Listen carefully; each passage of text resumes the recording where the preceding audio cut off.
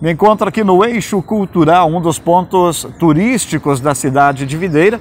Final de ano se aproximando e, como de tradição, final de ano, ruas ornamentadas e enfeitadas. Estou ao lado da secretária de Turismo e Cultura do município de Videira, a Valéria Guedes de Freitas, que comenta para a gente, Valéria, como estão os preparativos, quando começa a ornamentação. Tudo bem? Tudo bem.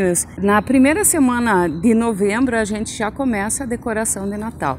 É claro que tudo isso vem sendo trabalhado desde o começo do ano. Assim que a gente retira a decoração natalina, já se começa a pensar para o próximo ano.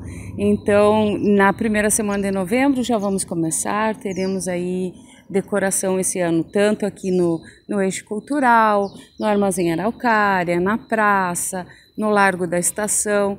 Então é bastante trabalho pela frente. Valéria, alguma novidade esse ano em relação ao ano anterior? Então, nesse ano, todo ano vai mudando a decoração. Esse ano a árvore a gente pretende deixá-la um pouco diferente, com mais cara ainda de, de árvore natalina. E não temos essa garantia ainda se dará certo, mas vamos testar com certeza.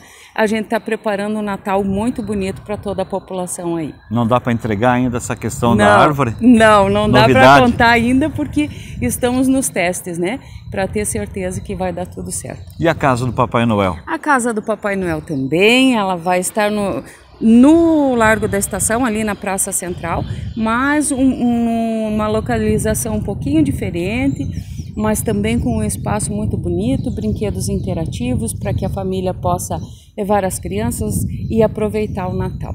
Além do eixo cultural, o Largo da Estação, onde sempre tem a ornamentação, mais algum ponto receberá? Então, a praça, a Praça Nereu Ramos, que a gente está programando também uma decoração diferente do ano passado, e alguns pontos ali do Armazém Araucária. Ok, muito obrigado. Falei com a secretária de Turismo, Cultura do município de Videira, Valéria Guedes, comentando sobre a ornamentação de Natal em Videira. Com as informações, Wilson Antônio.